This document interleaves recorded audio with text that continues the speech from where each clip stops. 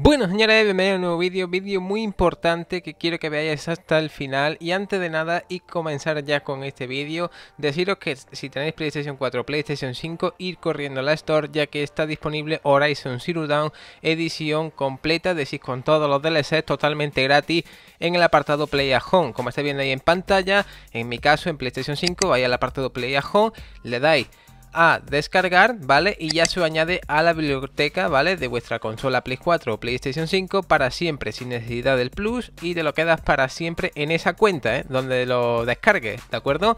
Bien, también deciros que aparte de este juego me habéis estado preguntando cuáles serán los principales del próximo mes, ¿vale? Cuáles serán los próximos juegos que vayan dando en el Play Home, ya que ya sabéis que Sony iba a dar juego hasta junio. Pues bien, gente, han dicho aquí, como estaréis viendo en pantalla, que tendremos otra actualización del Play at Home para eh, luego haciendo eh, PlayStation 4, PlayStation 5 pronto. Aquí estáis viendo el mensaje de lo que va siendo la página oficial de PlayStation que dice esto, ¿no? Que va a dar pues más información pronto, es decir, dentro de poquito seguramente de más información. También aclarar que Horizon Zero Dawn, ¿de acuerdo? Este juego que podéis descargar lo tenéis ahí gratis, ¿vale? A la hora de descargar hasta el 14 de mayo, si no me equivoco. Es decir, si el 14 de mayo no habéis descargado el juego, lo perdéis, ¿vale? Así que descargarlo ya y lo tenéis para siempre. Bien, Pasemos a otra información y es que eh, parece ser que ayer comunicó PlayStation que va a seguir estando en la Store de PlayStation 3 y PS Vita disponible. Ya sabéis que informé de que iban a cerrar la Store de PS3, PSP y PS Vita. Pues parece ser que se han equivocado, que han corregido este fallo o error y van a dejar operativas de momento Play 3, ¿vale? PlayStation 3 y PS Vita. PSP parece ser que desaparecerá el 2 de julio de este mismo año. Ahí estáis viendo el comunicado oficial de PlayStation, donde pues dicen todo esto, ¿no? También informaros de que, eh, bueno, ha dado Sony información sobre lo próximo que va a llegar para PlayStation 5 como por ejemplo el tema de hacer carpetas para los juegos, es decir, como está en PlayStation 4 ya, es decir, tú le das al Optio, ¿vale? Y te da la opción de hacer una carpeta con, por ejemplo, 10 juegos, 20 juegos y, por ejemplo, pues lo va ordenando, ¿no? Eso no está ahora mismo en PlayStation 5, va a llegar, ¿no? Y también los temas que también van a llegar a PlayStation 5, ya sabes que no se pueden poner temas de fondo en PlayStation 5, en PlayStation 4 sí, pero en PlayStation 5 no. También va a llegar esa opción, ¿de acuerdo?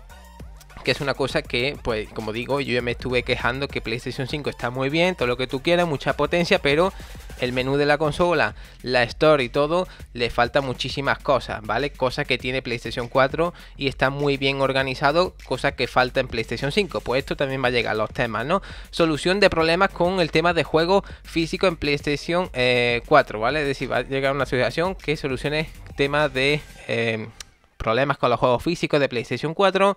No sé cuáles son. Aquí simplemente han dicho que va a llegar una asociación con esto, con esta solución. Habrá que verlo en un futuro. También aseguran que están trabajando muy cerca con eh, Kojima, ¿de acuerdo? Así que habrá que ver si están haciendo un nuevo proyecto, un nuevo videojuego. Algún remake puede ser de Metal Gear, es posible. Ahora pasaremos con eso. También es posible que trabajen en la solución de lo que va siendo eh, versiones compatibles con juegos de PlayStation 3. Me, explico, ¿vale? Para que lo entendáis. Aquí dicen que están solucionando eh, pues, lo que va siendo posibles problemas y eh, versiones anteriores a juegos de PlayStation 3 para que lleguen a PlayStation 5. En pocas palabras, están trabajando en retrocompatibilidad con PlayStation 3, PlayStation 2 y PlayStation 1. Eso seguramente a lo mejor lo anuncian para junio en un State of Play, que es cuando se celebra el E3, ¿vale? Toda esta información ha salido hace pocas horas, ¿de acuerdo? Así que como digo, quedaros hasta el final del vídeo. También se ha estado diciendo aquí las posibles fechas de los próximos lanzamientos importantes que van a llegar como Far Cry 6 que llegaría en septiembre, Call of Duty, el nuevo de este año, en octubre, Horizon Forbidden West, ¿vale? En octubre, ¿de acuerdo? Battlefield 6, ¿vale? De momento parece ser que tiene ese nombre.